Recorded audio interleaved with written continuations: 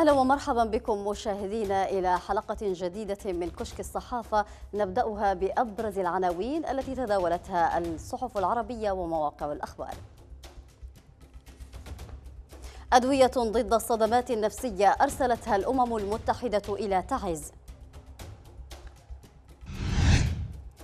احتجاجات للمعلمين في مدينتي ذمار وتعز للمطالبة بصرف رواتبهم. يمني هرب من الحرب يبتكر تطبيقا يساعد على تجاوز الاختلاف في اللغة. وفي أكثر أخبار الصحف العربية قراءة الشرطة تعثر على لاجئ سوري مختبئ في حقيبة سفر في جزيرة يونانية.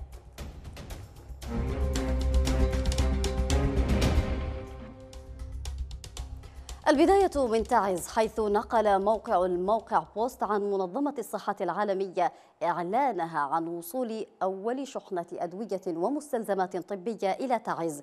منظمة الصحة العالمية أعلنت عن نجاحها في إيصال أول شحنة من الأدوية الأساسية والمستلزمات الطبية إلى تعز في اليمن وذلك عبر خطوط القتال ولأول مرة منذ بدء النزاع في اليمن حيث يوجد أكثر من 350 ألف شخص بحاجة ماسة إلى خدمات صحية.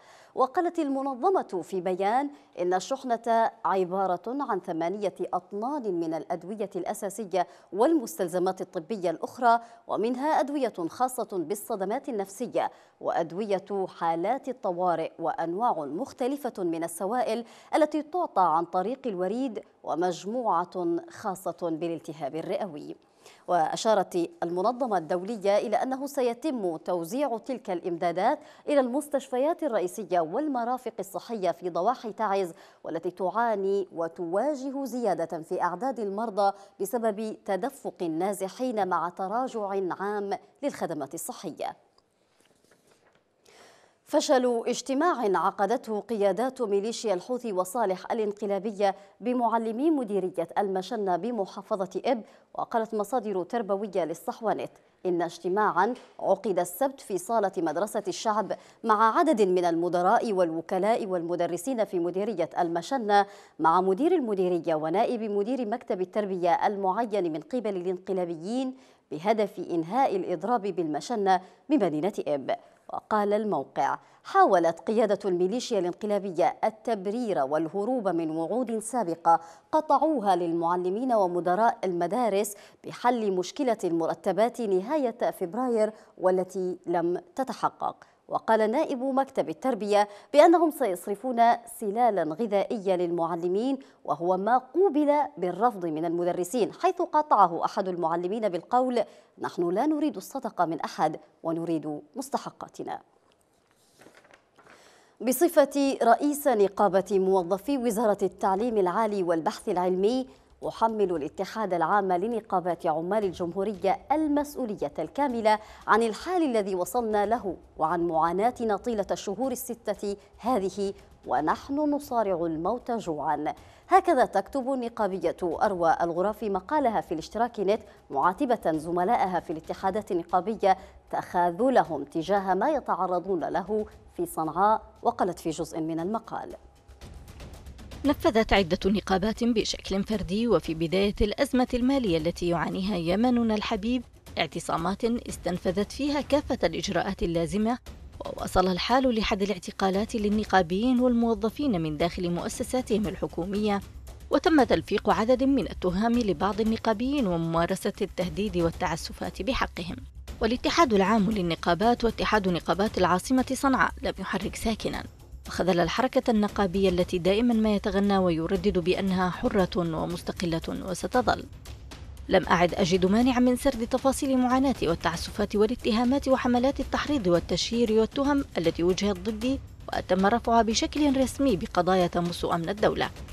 وحين بدأت طرح معاناتي وما تعرضت له من تعسفات وخذلان من قبل الاتحاد تفاجأت بردة فعل قوية ضدي ووقوفهم إلى جانب من خذلوا العمل النقابي. وقتها لم أجد من طريق أمامي سوى الحفاظ على نقابة موظفي وزارة التعليم العالي. وخوفا من ضياع حقوق موظفي الوزارة بيد من تلاعبوا بالعمل النقابي وبثقة زملائهم. أما فيما يخص بقية الانتهاكات والتعسفات وحملات التحريض والتشهير والتهديدات التي تعرضت لها من قبل قيادة وزارة التعليم العالي المعينة من قبل اللجان الثورية فلم يتحرك الاتحاد العام لنقابات عمال الجمهورية ويتفاعل معها حتى ببيان وببضع كلمات تؤخذ من بين السطور بل على العكس تماما. كان موقفه سلبيا تجاه من أصدروا بيانات تأييد ومناصرة فردية.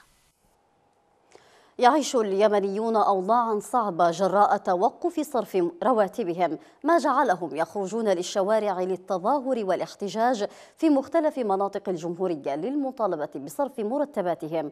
وبهذا عنون موقع المصدر أونلاين وقال احتجاجات للمعلمين في مدينتي ذمار وتعز لمطالبة الحوثيين والحكومة بصرف رواتبهم حيث احتجت العشرات من المعلمات في مدينة ذمار للمطالبة بصرف رواتبهن كما تظاهر العشرات من المعلمين في مدينة تعز للمطالب ذاتها. مصدر محلي في ذمار قال للمصدر أونلاين إن المعلمات نفذن وقفة احتجاجية أمام مكتب المحافظة التي يسيطر عليها المسلحون الحوثيون وقوات صالح للتنديد باستمرار قطع الرواتب. محافظة ذمار تشهد أغلب مدارسها إضرابا مفتوحا عن التدريس لجميع المعلمين والمعلمات منذ أكثر من أسبوعين. أما في محافظة تعز تظاهر العشرات من المعلمين في شارع جمال وسط المدينة احتجاجا على عدم صرف الحكومة اليمنية رواتبهم. التأخر في صرف رواتب الموظفين بمحافظة صنعاء وبقية مناطق سيطرة الحوثيين يرجع إلى اكتشاف أخطاء في كشوفات الرواتب التي تسلمتها الحكومة. هذا ما قاله السكرتير الصحفي لرئيس الجمهورية والذي أضاف لموقع المشاهد نت. اللجنة الحكومية اكتشفت أخطاء في الكشوفات التي تسلمتها واتضح أن الحوثيين قاموا بالعبث بكشوفات رواتب موظفي الدولة بما فيها كشوف 2014 وأوضح غمدال الشريف أيضا أنه تم تشكيل لجنة فنية من وزارتي المالية والخدمة البدنية لتصحيح كشوف الرواتب. وقال الشريف بالنسبة لصرف الرواتب في المحافظات الخاضعة لسيطرة الحوثيين يجري التأكد من صحة الكشوفات بعد اكتشاف مئات من الموظفين الجدد تمت إضافتهم من قبل سلطات الحوثيين خلال الحرب. وأكد الشريف أن اللجنة تعكف على مراجعة كشوف الرواتب مشيرا إلى أنه تم إنجاز كشوفات بعض الجهات ويجري التأكد من الكشوفات المتبقية. الصراع اليمني إمكانية الحل في ظل التصعيد. تحت هذا العنوان أتت دراسة المركز العربي للأبحاث ودراسة السياسات في صحيفة العرب الجديد وجاء في أجزاء منها. بعد أكثر من عامين على اندلاع الحرب اليمنية إثر سيطرة الحوثيين على العاصمة صنعاء في سبتمبر 2014 ثم انقلابهم على الرئيس عبد رب منصور هادي وتوجههم إلى الجنوب مطلع عام 2015 تمكنت حكومة الرئيس هادي للمرة الأولى منذ رد هجوم المتمردين على عدن من أخذ زمام المبادرة والانتقال من الدفاع إلى الهجوم. فقد تمكنت قوات الجيش الموالي للحكومة من تحقيق تقدم على ثلاثة محاور رئيسية بصورة متزامنة تقريبا. الأول في اتجاه محافظة صعدة معقل جماعة الحوثي والثاني في مديرية نهم شمال شرق العاصمة صنعاء حيث حققت قوات الحكومة اختراقات مهمة غير أن الإنجاز الأهم كان في المحور الثالث حيث تمت السيطرة على ميناء المخا في إطار ما أطلق عليه اسم عملية الرمح الذهبي التي تستهدف فرض سيطرة الحكومة على كامل الشريط الساحلي الممتد على طول البحر الأحمر غربي البلاد. مع أهمية ما تم إنجازه خلال الشهور الثلاثة الماضية في إطار عملية الرمح الذهبي والاختراقات الكبيرة التي يحققها الجيش الوطني في منطقة باق في محافظة صعدة تطرح التساؤلات هل تمثل التطورات الميدانية الأخيرة جزءا من خطة شاملة لهزيمة تحالف الحوثي صالح واستعادة العاصمة صنعاء؟ أم هي عملية عسكرية محدودة فرضتها التهديدات المتكررة التي تمثلها جماعة الحوثي لحركة الملاحة الدولية في البحر الأحمر لا سيما بعد مهاجمة المدمرة الأمريكية يو إس إس ماسون وهل ستمثل عملية الرمح الذهبي بداية لانفراج يمني خلال عام 2017 سواء على الصعيد السياسي أم الميداني. قال المدير العام التنفيذي لصندوق النظافة والتحسين في العاصمة عدن المهندس قائد راشد أنعم لموقع عدن العاصمة أن جهودا تبذل حاليا لاستكمال إعادة تأهيل وتشغيل 26 حديقة عامة يشرف عليها الصندوق في كافة المديريات والتي تضررت جراء الحرب الظالمة وتعرضت للتخريب والدمار والنهب.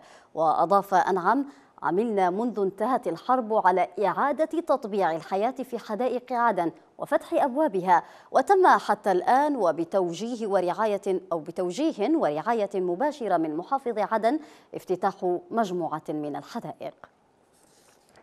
تصاعدت فعاليات إضراب أساتذة جامعة صنعاء لتصل ذروتها للمطالبة بتغيير رئيس الجامعة المعين من قبل الحوثيين الدكتور فوزي الصغير والتوعد بمقاضاة حكومتي بن حبتور وبن دغر معا. وصوت أعضاء هيئة التدريس في اللقاء التشاوري الموسع الذي عقدته الهيئة الإدارية للنقابة على مقترح تقدم به أحد الأساتذة طلب فيه الهيئة الإدارية للنقابة بتصعيد احتجاجاتها لترحيل رئيس الجامعة باعتباره غير شرعي وتم تعيينه وفرضه بالقوة وبالمخ... وبمخالفة لقانون الجامعة ولائحته التنفيذية. وأكد اللقاء على الاستمرار في الإضراب وعدم الرضوخ لأي ضغوط أو تهديدات لكسره معتبرين أن الإضراب سلوك حضاري وفعل مدني متقدم مكفول في الدستور والقوانين النافذة وحق لا يجب التراجع عنه إلا بتحقيق كافة المطالب. وقبل قراءة أهم ما ورد في صفحات الصحف العربية نذهب إلى فاصل قصير ابقوا معنا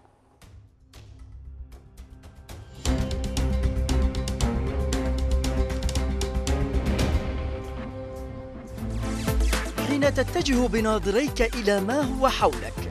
تكتشف جمال كل شيء. تتعرف من خلال ما شاهدت قانونا واحدا من القوانين المعرفية. تعرف كيف امتزجت هذه الحياة بألوان البشر المختلفة. ستعلم عندها أن الأقرب منك أن وضعنا العالم بين يديك.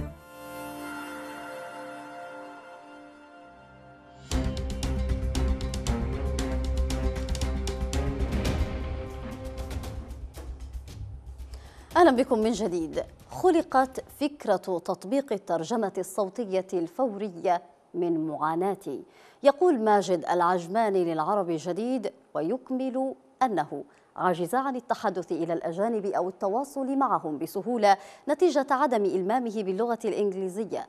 فخطرت فكرة المشروع على باله بيد أن أوضاع الحرب في اليمن عرقلت تنفيذها. يتابع ماجد أنه هاجر إلى ماليزيا كونها الخيار الوحيد الذي بقي أمامه بما أن جميع الدول كانت مغلقة في وجهه.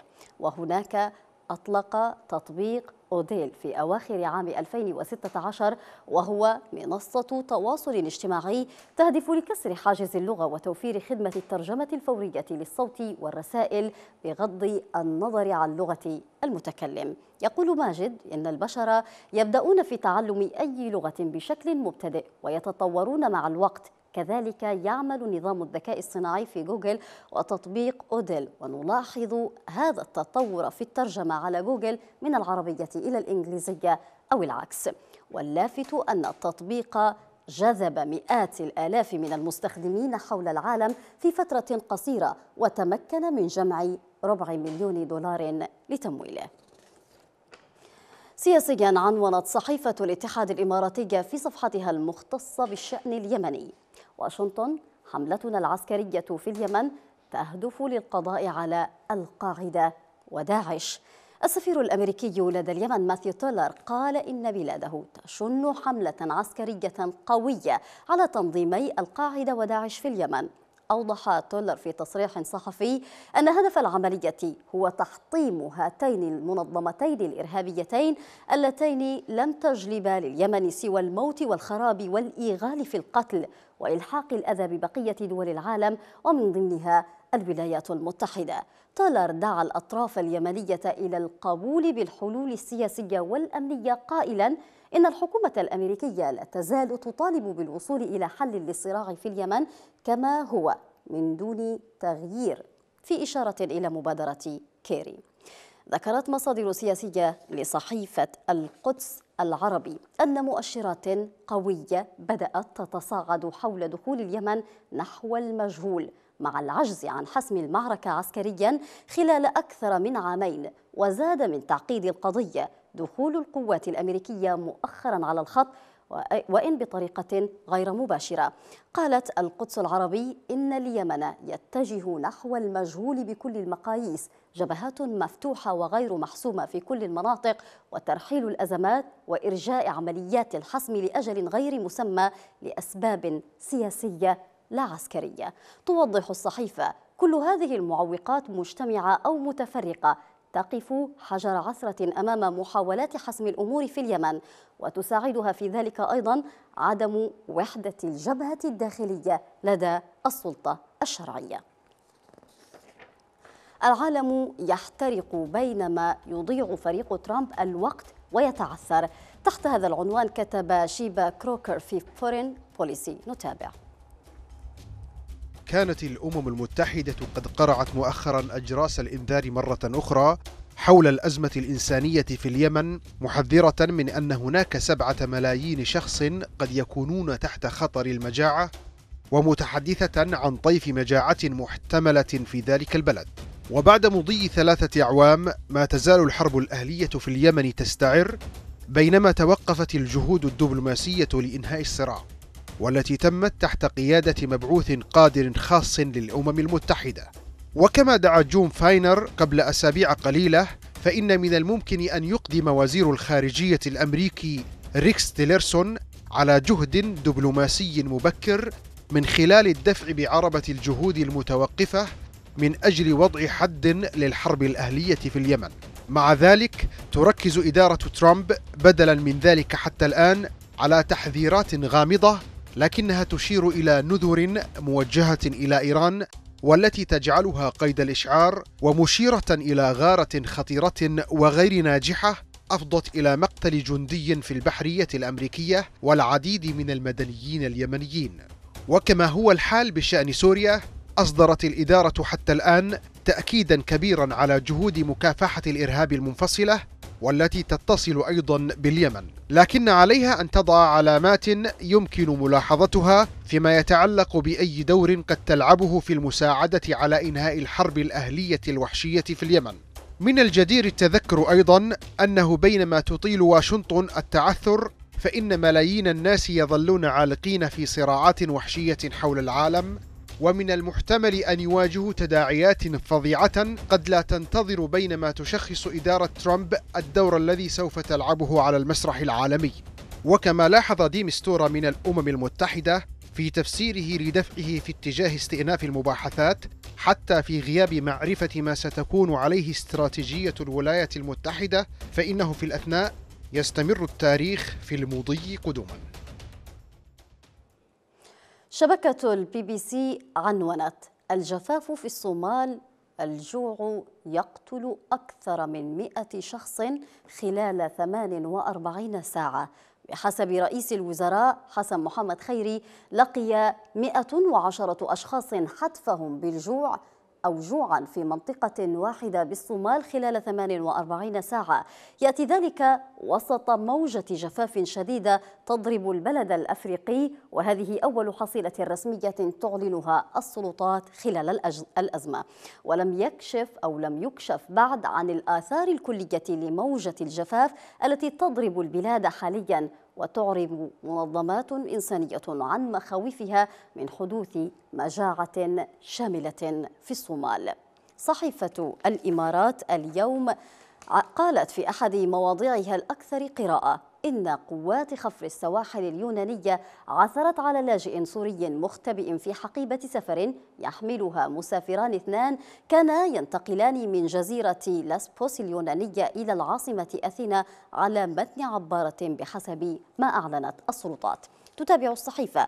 أوقف الشاب البالغ من العمر 24 أو 24 عاما ومواطناه اللذان كانا يحاولان مساعدته على الانتقال خلسة إلى أثينا وهما امرأة في الأربعين من العمر وشاب في الثالثة والعشرين. وكان الشاب يحاول مغادرة الجزيرة بحثا عن فرصة عمل وإقامة في أثينا ولسبوس واحدة من خمس جزر في بحر إيجا مشمولة باتفاق بين تركيا والاتحاد الأوروبي للحد من تدفق اللاجئين عبر اليونان. السلطات اليونانية تقول إن 7616 لاجئا عالقون في هذه الجزر منذ توقيع الاتفاق ويشكل مصير هؤلاء اللاجئين معضلة للسلطات اليونانية فهي ترغب بنقل بعضهم إلى مخيمات في بر اليونان لكن الاتحاد الأوروبي يعارض هذه الخطوة حالياً. ومن بين الأخبار الأكثر تداولا في الصحف العربية اليوم ما جاء في صحيفة الحياة اللندنية. ترامب يتهم أوباما بالتجسس على هاتفه. وقالت التفاصيل بعد فترة هدوء استمرت أسبوعا عاد الرئيس دونالد ترامب إلى سياسة المناكفات والحملات واتهم سلفه باراك أوباما بالتنصت على هاتفه خلال حملة الانتخابات الرئاسية. وأثار ترامب عاصفة سياسية بتغريداته الصباحية على تويتر ناعتا أوباما بأنه شخص سيء أو مريض. وقال إلى أي مستوى نزل الرئيس أوباما ليتنصت على هواتفي خلال العملية الانتخابية المقدسة جدا. وأكد متحدث باسم أوباما أن الرئيس السابق لم يأمر بتاتا بالتنصت على أي مواطن أمريكي. أصبحت جزر مارشال في المحيط الهادي أول دولة تصدق على الاتفاق المعلن في عام 2016 للحد من استخدام الغازات القوية التي تنتجها المصانع وتساهم في ارتفاع درجات الحرارة في العالم. وقالت سلطات هذه البلاد التي يقطنها 53 ألف نسمة إنها معرضة للخطر بسبب التغير المناخي إذ يواجه السكان خطر ارتفاع مستوى مياه البحر ذوبان الجليد وتحت عنوان جزر مارشال حتى تبقى على قيد الحياة. نشرت صحيفة العرب الجديد مجموعة من الصور لهذه الجزيرة نتابع.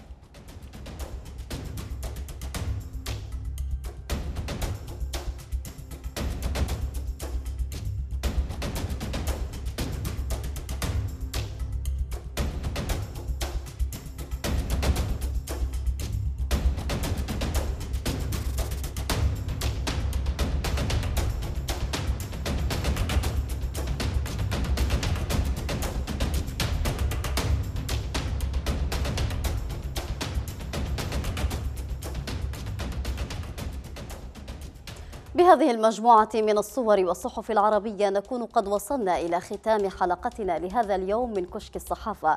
نترككم مع مجموعة من رسوم الكاريكاتير. إلى اللقاء.